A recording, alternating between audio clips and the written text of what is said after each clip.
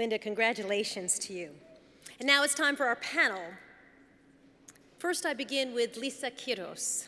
Lisa Garcia Quiroz, um, I have known for more than a decade. She's been an amazing mentor, a guider of career, and a dear friend. I'm honored to have her on the panel tonight. She's a Chief Diversity Officer and Senior Vice President of Corporate Responsibility at Time Warner. She currently serves as Vice Chairperson of the Board of the Hispanic Scholarship Fund, and she's also on the board of the Apollo Theater Foundation.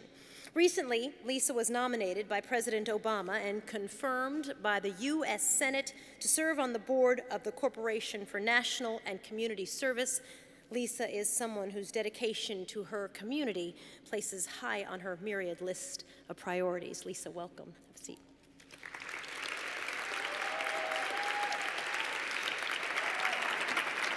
Our second honoree and panelist for this evening is Sue Wagner. She's a co-founder and director of Wow.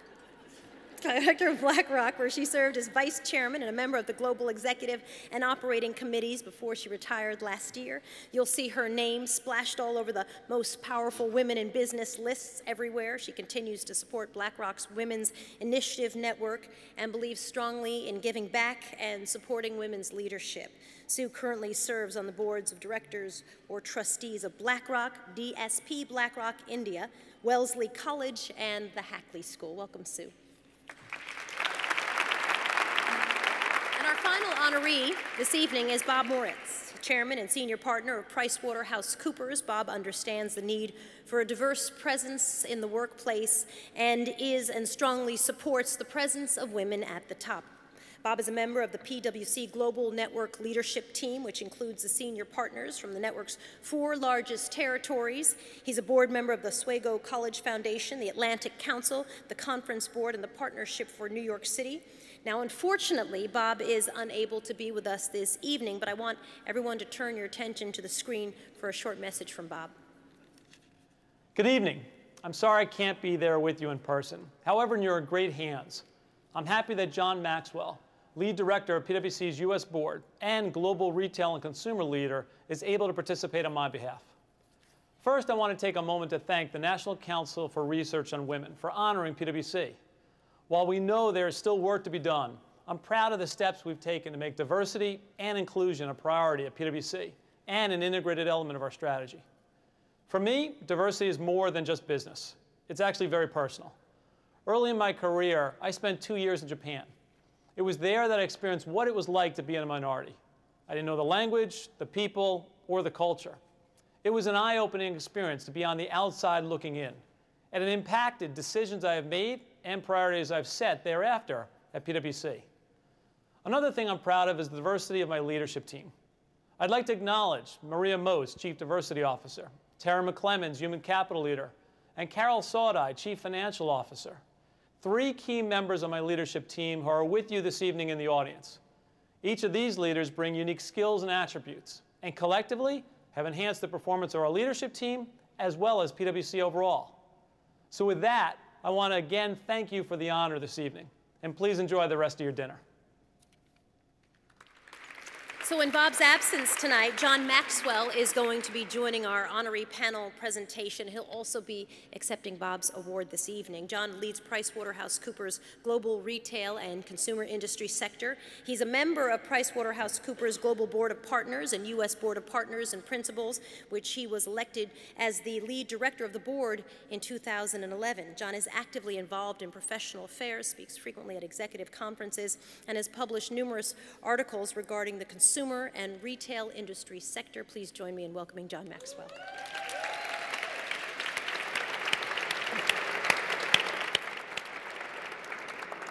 So I want to start with some of the biggest challenges and also the best ways to make women successful leaders. So start with what's an obstacle and the best way to fix it. So now everybody else is like, oh, I see how this is going to go. it's going to be a long panel. I'll, I'll, jump in to start. I, you know, I think it really starts at the top, and Bob sets a really good personal um, statement. He's very passionate, and it's not just about what he says, it's about what he's done.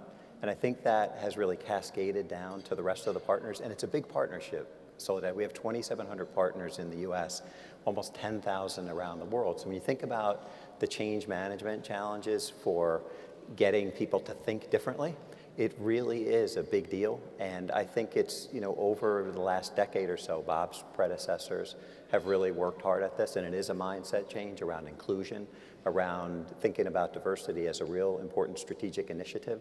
So I think we've made a lot of progress, and we're very honored to be here tonight, but we still, I think, have a long way to go, so and we're working like you're saying, number one, the CEO has to care, otherwise it's a big challenge. Is it doable if the CEO is not 100% involved? I think the leadership team has to all be committed to diversity and inclusion. Then I think that it's you know, many different programs and reaching many different levels. So I think it's a necessary condition, but not sufficient.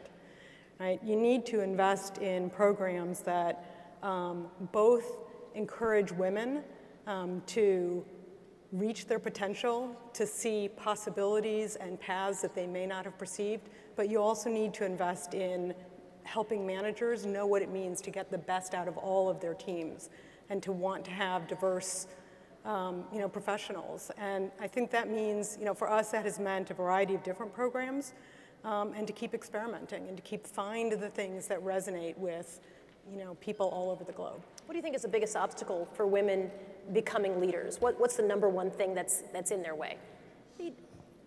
I think you mentioned earlier that you were in the middle of reading the Sheryl Sandberg Sandberg book, and Sheryl Sandberg talks about leaning in and how important it is for women to take responsibility for their careers and to sort of move ahead. I like to think that companies need to lean in too. That really the way the organization of the future is going to be a very different organization when 50% of the leadership is female.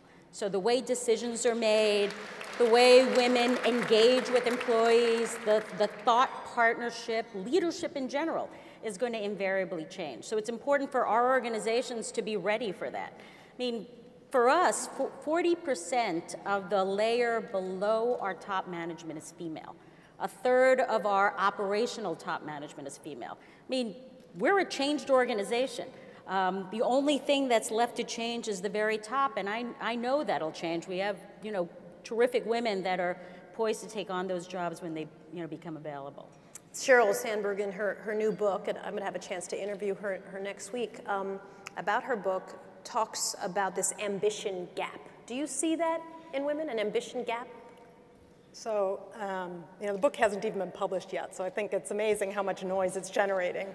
Um, I've actually but, read it, because I know some people are critiquing oh, okay. it without reading it, but I still um, You know, I think that, to me, you know, sort of the level of noise is you know, sort of started with the Anne Marie Slaughter um, article in Atlantic, and I think um, that there's been a little bit of back and forth as to this question of can you have it all and what does that mean? And honestly, you know, I, I sort of think they both have really good points to make. Anne Marie, I think, talks about the systemic problems and the institutional support that's needed to advance women's ability to serve. And I think Sheryl focuses, as I understand it, on know, sort of individual responsibility, and I frankly think both of them are right. I think that, you know, when you talk about the women, um, you know, an individual responsibility and obstacles, I think one of the obstacles is that, you know, we have very unrealistic expectations of ourselves, right? So what this have it all is, you know, sort of having all the guilt because you can never be everywhere and do everything all at the same time. And so I think you know, and one of the things I've shared with women throughout BlackRock's organization all over the world is you, you have to give yourself permission to be flexible. There is no such thing as the right balance all the time. It's a balancing act every single day. And you know, you're not going to get it right all the time, and that's okay. You just sort of have to bounce back and get on with it. And it doesn't mean that you have to sort of sacrifice your ambition. And I think that my understanding is that's Sheryl's point. At the same time, that doesn't absolve companies from having responsibility. And I, you know, I think that Deborah Spar, who's the president of Barnard, makes a really excellent point as well when she says, you know, it's the reality. We're biologically different. We're wired differently. We shouldn't try to cover that up. We shouldn't try to pretend it doesn't exist. So I would say to companies and to the men, you know, also you should get over it. Like, we are different. Let's embrace that. and let's figure out how we can get the best out of everyone. You're talking about some conversations you've had with women about the guilt and the not being able to do it all. I'm always curious, do you have those conversations with men? I mean, do men, are they ever come, no, truly. I mean, do they ever come in and say, listen, I just can't manage it all. I don't know what to do. I, young I am, men. Young men. Really? I think ever? young men. Truly, I, ever. I've had it with young men on I my think, staff. I think more Yeah. so, Soledad, and I think that's a really key point here is that the environment is evolving. I think to a platform where this kind of achievement that we're talking about here tonight is really possible. And I think it starts with a level of transparency and candor and really having those honest discussions. And I think at PwC, particularly under Bob's leadership, we've really um, called out the BS. And so when someone's, we know where they're dealing with something and we talk to them about it and they say, I'm fine, we say, Are you really fine? And usually you get underneath that. But I think there's an expectations management around all of your people need to walk in other people's shoes. They need to be empathetic. People go through different things personally, which maybe they need more flexibility, but then you give that to them and you get such a huge return on investment because when they come back, they love the place and they're loyal. And so I think a lot of it is about your communication, your culture, and the transparency and candor, and really saying to people that this diversity is not an initiative, it's who we are. The only way we're going to be successful is that if we are inclusive and we bring in people with different points of view, they're going to bring great solutions, not just to client issues, but helping us deal through the internal strategy issues that we deal with. You know, Soledad, can I, I just wanted to go back a second to what you were mentioning because during this whole Anne-Marie Slaughter, Sheryl Sandberg debate, you know, what, one of the things that, that I've been struck by is, isn't it wonderful that we have a choice? And I think it's the obligation of organizations, of companies, to ensure that women have a free choice and that we are not deciding for them what is right for them at their different points of their careers. I mean, you know, I had a, a, a mother and grandmother who said it was important for you to have a college education because I don't want you to depend on any man. I mean, my life is so dramatically different from theirs. And I think that the opportunity for women to choose whatever career path they may have. I mean, I went to business school with women, many of whom have decided to stay home with their children. That's a choice that they made that is fulfilling and a, and a terrific choice for them. And I, and I chose a different path, and I, I think it's great that women today can still do that. Considering all the choice, though, I think sometimes we seem very tortured by the choice. I mean, Anne, Yes. Anne Marie Slaughter's article was was was Yeah, tortured. Mm-hmm. You know, when you you read a criticism of, of Sheryl Sandberg's book that has not been released yet, um, and I think, uh, having read it, I think it's a, a fair criticism, uh, is that she's talking to the women and not necessarily to the men. You know, she's sort of like, well, the people in power are, the, in some cases, and a lot of cases are, are the men. Do you, what would that conversation look like if, in fact, she were not saying to the women, lean into your careers, but she were saying to the men, what? I think, you know, at, at, at PwC, how come all the female questions are coming to me? No, this is the men. That- like yeah, about it. okay. So I, I think it's, for us, the change and the transformation, I think, has been easier because of the nature of our business. We're in a people business, and the only way that we can compete is to have that talent. And there's just not enough white males to serve our clients, even if we thought that that was right, and naturally we don't. So the idea is really getting the expectation of our partners and staff that having cultural dexterity as defined as being able to work with people of all different backgrounds and, and thinking is really a key attribute to be successful in our firm. So if you don't have that attribute, you don't build that into your DNA, you're not going to get very far with our firm. So a little bit is around you know, diversity being totally on strategy because we need to do it, but a lot of it is around culture to say that it's not okay not to be inclusive at PwC. When Linda was giving her remarks, she talked about her vision of men and women sharing leadership and power. I've been a reporter for a minute, you know, and in the 20 some odd years that I've been doing it, most times I've seen people having to wrestle power out of the hands of other people. Like very rarely does someone just open up and share their power. It just doesn't happen. I, I, I, I haven't seen it. I mean, is that a, it's a wonderful goal. Is it a realistic goal? I, I think it's a I think it's very much a realistic goal, uh, and I think that the world is changing so dramatically that companies or organizations that aren't prepared for that change are going to be left behind. I mean, look, we might have a female president in four years. I mean, this, this is, there, there are more women CEOs today than ever before. Not to, men, not to say that there aren't many more opportunities, and there should be. But I, I do believe that, uh, that, the world is, that the world is changing and that we will be sharing power with men. By, first of all, we're more collaborative.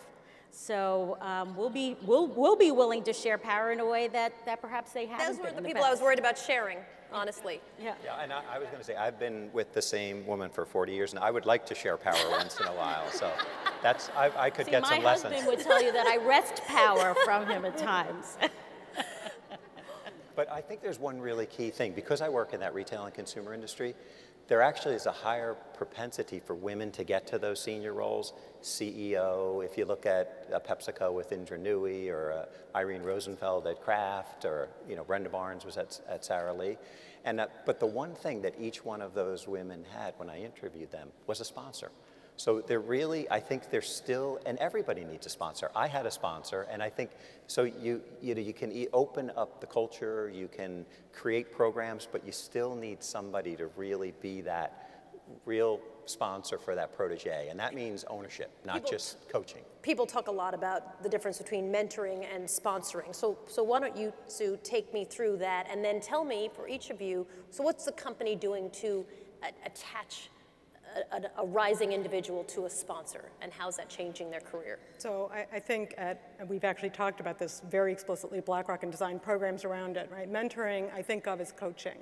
You know, so being a sounding board, making sure that you are uh, helping someone figure out how to tackle the challenges that they're coming up against. Sponsorship goes beyond that because it involves you're helping, if you're the sponsor, you're helping um, other women, in our case, um, to, you're basically investing your own capital, personal capital, in making sure that that person is getting additional responsibilities. For us, for example, um, you know, in 2011, we launched a program called the Women's Leadership Forum, and it was really designed to expand the reach of our most senior women. Um, and it had lots of different components, but one of those components was that each person in the program was paired with a member of the Global Executive Committee as their sponsor.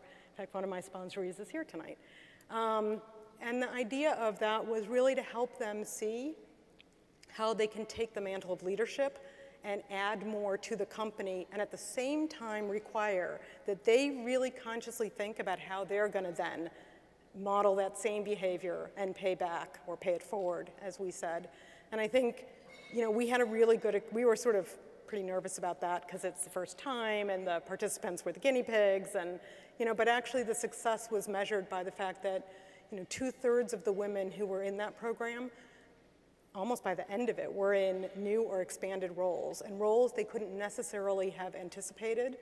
And, you know, to me, even more importantly, you know, as we get more women onto the global executive committees and the other global governance committees, they're role models for the next generation. And, you know, from my perspective, and you asked a minute ago about, you know, is it a reasonable goal to get to equality? Well, as a representative of the industry that's the worst, um, you know, we're a really long way off. Um, we all are a really long way off, and it's really, it's not a problem of the pool. So it's going to take intervention to get there. And these programs, like the Women's Leadership Forum, you know, got us to a place where we have more women at those global governance committees. And as that becomes more normal, more second nature, that's will be taken for granted, but we're a long way off. I actually was thinking today, it may not be my daughter's generation, it may be my granddaughter's. Hmm. Does Time Warner have the same, a similar sponsorship program? That sounds very intentional as opposed to sort of a, we let it happen. Mm-hmm. Well, I, I think a, a couple of things. One is, in my mind, the difference between a sponsor and a mentor is that a sponsor is actually moving the chess pieces, right? A mentor can give you great advice, can kind of help you get over a difficult situation or encourage you to go after someone, but it's the sponsor who will actually move the chess piece. And I think that an, in, an important piece of this is actually being very methodical and clear about identifying high potential, high performing talent in your organization and then having a plan in place for those people. So it's not just the responsibility of one person, but it's the responsibility of the senior management of the company to ensure that that person is being moved and developed accordingly. That's something that we recently put in place at the company, and I think it's been, um, I'm very excited about it. But look, Soledad, I, I have been the, the, the, the, lucky recipient of a number of really terrific sponsors, both men and women in the company. I mean, I, I really, I wouldn't be here without them. And, um, and they were people that were really instrumental in my career in either putting me in a job probably four years before I should have been a publisher of a magazine, um, or helping me become a leader when I was uh, sort of worried about running my business and I needed to sort of lead and not manage. Um, so, uh, you know, and, and even the job I'm in currently right now uh, was sort of the result of a terrific sponsor of mine. So I couldn't agree with you more. This, this idea of sponsorship is what will allow people, would allow women and people of color to get through what I call the permafrost layer. It's not a glassine, it's like a permafrost layer. And for women to break through that will take more than, than just a great resume. PwC has a program called White Men as Diversity Champions. I love that because it kind of lays it right out there, doesn't it? Tell me about who came up with this idea and if it's been successful. So that really comes down to, again, I think Bob's leadership. What we did a couple years ago is we brought a, um, one of our best less tenured partners, uh, Maria Moats, she was a retail and consumer partner, I worked with her a lot, took her out of the practice and had her head up the diversity initiative, supported by uh, Jennifer Allen and a number of other great people. And they came to the white men, like myself, and said, you guys are great coaches. You're, you're not you're great mentors. You're not great sponsors. And we said, what do you mean? We're just great all around. And they said, they said, no, you're not. And we said, explain. And they said, here's what sponsorship is. And building off uh, what Sue and Lisa said, it really is about owning that person's career. So I'll tell you what I did. I thought I was a great coach. People would come to me for advice. I'd give them advice and off they would go. Once I really started thinking about sponsorship, I was on a client, $20 billion revenue type of client, very well-known uh, company. I had a. Tell us who. Well, I can't tell you. I can't tell you the name of the company, yes, but their can. trademark is a swoosh. So I'll just say that. I, our, our, our privacy. Yeah, we wouldn't be able to say any more than that. Uh, but so I had a just a wonderful, uh, less tenured female partner named Julie on the team. You know, and, and I got to thinking, and it had nothing to do with I was commuting 3,000 miles for the client, but I got to thinking that, you know, the client really likes her, the board likes her, what could we do here to really get her into my shoes and me move into a more senior uh, partner type of role on that account? And it took about two to three years to set the table with the management, with the board, but it worked out great. The client was thrilled. It's really propelled Julie's career because she's rotated off that client and now she's on you know, a number of other large clients. But to me, that was the real difference, is I got involved in those chess pieces and really moving those, not just saying, oh, Julie, you could be really even better if you did this at a meeting or you did that. Really making it happen for her. And uh, I wouldn't have done that, though, if Maria and Jennifer hadn't pushed me. Do you think that the, that the white men helping with diversity is a critical element of it to really propel it forward? Well, I, I, mean, I think it's what we said before. It needs to be owned at the senior levels of the firm, the most senior levels, um, and they set the example. And I think that, you know, it was very intentional that we had members of the Global Executive Committee, women and men, serving as sponsors. And, I, you know, so I think you set the pace, and by your ac actions, you then communicate to the Global Executive Committee members all of them, that this is incredibly important and we can really push forward. And they then communicate to their direct reports. And that's how you begin to cascade, just as you were describing before, you get to all the partners. You've got to cascade it down through the organization. And I think it really needs to be driven from top down because otherwise I think we'll move too slow. So what Bob did is a really two-pronged strategy, one internal, so that was really looking at great talent like Maria, like Jennifer, but also Terry McClements, who we pulled out of a very senior consulting role into our human capital role. And that really sent a message. Then Bob also went outside for Catalyst Hires, and he brought in uh, two partners, Carol Sawdye, who came from Skadden Arps and, and the uh, NBA. She had been with PwC before as our CFO, and then also Diana Weiss, who had been uh, with our outside law firm.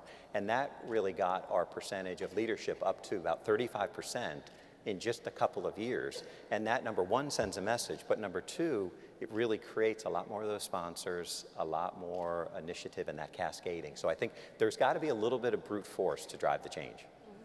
There's a comment I read that, that goes like this If Lehman Brothers had been Lehman Brothers and Sisters, they'd still be around.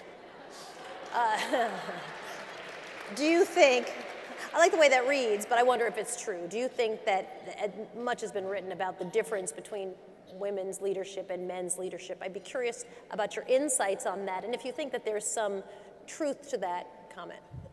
Well, having been at Lehman Brothers originally, originally in my career, long, long before, um, you know, I think that um, if you had really equal representation, um, equal voices and equal weight given to the voices, maybe that would have been true. And the reason I say that is because um, I mentioned before the biological differences and, and, the fact that women are wired differently. One of the ways that manifests is that women tend to be uh, more conservative um, and take less risks. There's actually, uh, we have a client in Iceland um, who started an investment bank based on feminine values because they took the position that they would not have had the blowup in Iceland if more women had been running banks because they would have been more risk averse and brought more risk management to the fore. So I think it's possible um, that we would have had a different outcome. Last question for you before I let you go. What's the biggest challenge and the biggest opportunity for the next generation of young women who are coming into your respective fields? You know, at PwC, I think we really look at that demographic of the millennials very carefully because they're a different breed than we are, male or female. Their expectations around things like flexibility, meaning of work, what they do, how important it is, et cetera. So I think we really need to get more flexible. And I know that's a little controversial right now given what, you know, uh, uh, Sheryl set out at Facebook, but for us, we really look at work as a thing, it's not a place. And we do need to collaborate, we do need to meet deadlines, and we do need to be responsible. But there's ways that we can do that so that people can still have a life, can still look after parents, kids, whatever they need to do. So that's what we're really focused on. We're not all the way there, but we're working that really hard. Um, and I would just repeat what I said earlier. I really think that the biggest challenge is, is the challenge for the next generation is the same challenge we're dealing with today, which is just unreal, unrealistic expectations. And I think that that's you know, the expectations we have of ourselves and the expectations others have. And so I think that continues to be a challenge, and I don't think there's an easy answer. But I think the opportunity is enormous, right? I mean, there's been a lot written about, you know, sort of the next, the third billion, right? We are um, coming up to a time when, you know, the next billion women will be mainstreamed into the world's economies. And you know, the opportunity to serve the global economy to drive future economic growth is enormous. We're going to do that better if we are more diverse in our approach. Well, look, Soledad, more women than men are graduating from college, master's program, medical school. I think the, big, the biggest challenge facing the next generation of young women is going to be finding men to fill top jobs. Amen,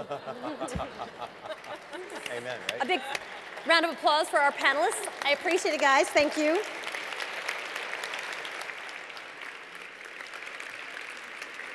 I want to thank our panelists for their insights. It's been an amazing uh, and informative conversation. I'm going to ask Lisa to come back, uh, Lucy to come back out. We're going to give, ask you guys to remain seated while we distribute our awards to our honorees. Ready? Yeah. So we begin with Lisa. If you'll stand. Lisa understands a prominent role that media plays in our society and the need for women and men of color to take center stage. Lisa is a woman who takes pride in serving others and who utilizes her career in media as a platform to speak up for those who do not have a voice. A round of applause, please, for our honoree, Lisa.